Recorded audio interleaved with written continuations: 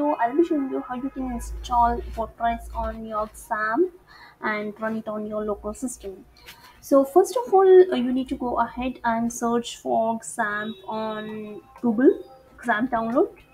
So head on to the first link that you get here, Apache Friends. Then download the version that you actually prefer here.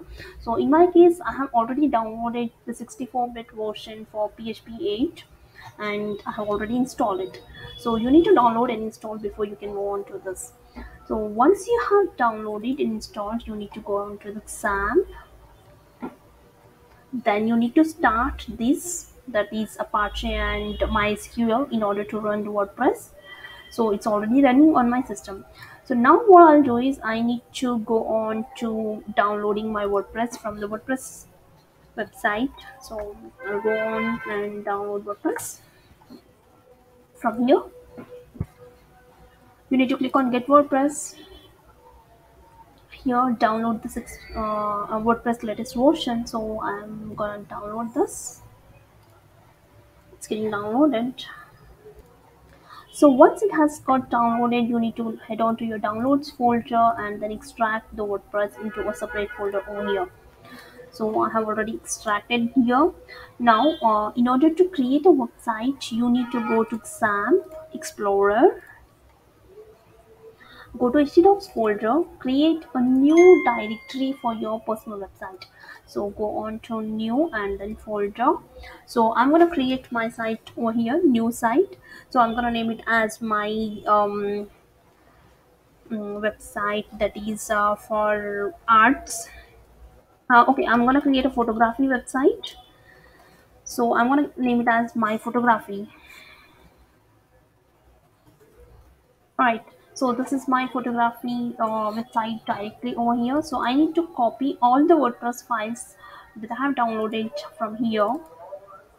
I'm gonna select all and copy all. Then i'll go to my root directory that is my photography and i'm gonna post uh, paste them over here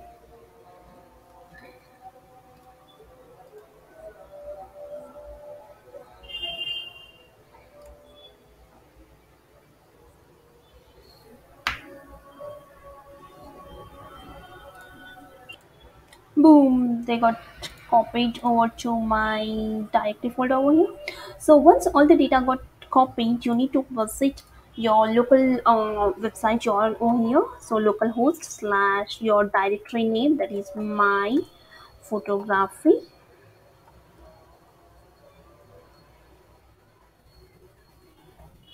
and then you need to set up your database first.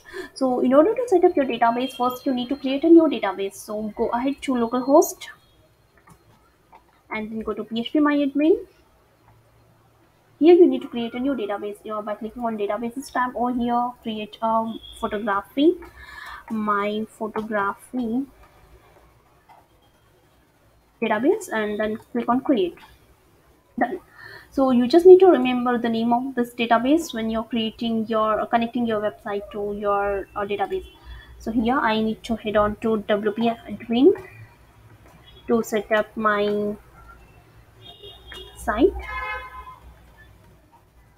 At a config php so you need to visit this url before you can proceed with anything else. So i'm going to click on this all right so you need to select your language over here. I'm going to select english. Uh, so in the in the screen it is showing that you need to provide all this detail in the next screen once you click on next uh, let's go. So provide the database name that you have created over here that is my photography. And provide the name that is root uh, so you need to provide the uh, username as always root whenever you're creating a website with localhost. So it can be anything else when you're creating with a server but in case of XAMPP it has to be root always and you need to leave your password blank.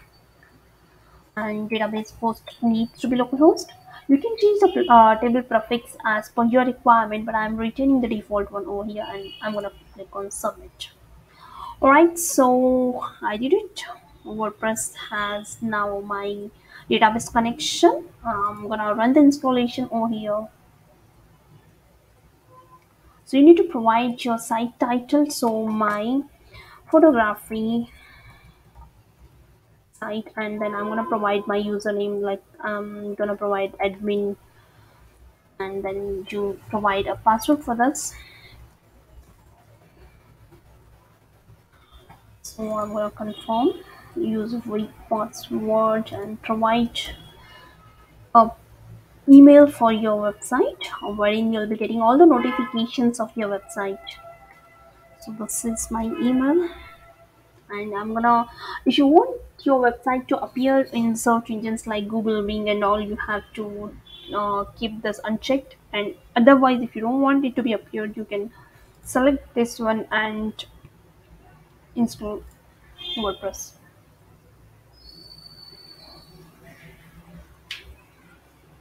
Boom! I got my WordPress website installed. So I'm gonna log in by using the username that I have provided.